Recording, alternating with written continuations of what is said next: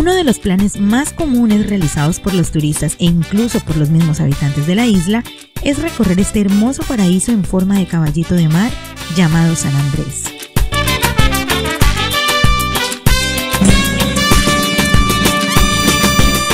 Motocicletas, mulitas, carritos de golf, hasta incluso bicicletas, son el transporte más apropiado a la hora de pasear, tomar fotos aprovechando los hermosos paisajes, admirar la magia que la naturaleza nos brinda y por supuesto, darle la vuelta a la isla.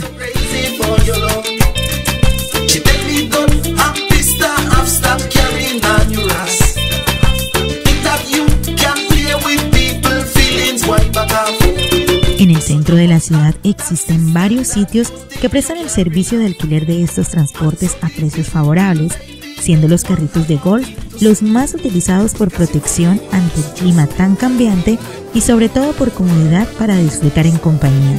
Durante el viaje pueden hacer paradas durante más les apetece y conocer los distintos atractivos que San Andrés ofrece.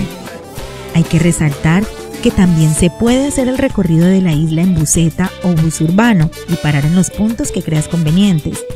Chiva o tren turístico son otras de las muchas alternativas que puedes tener en cuenta a la hora de pensar en visitar San Andrés y pasear por la isla.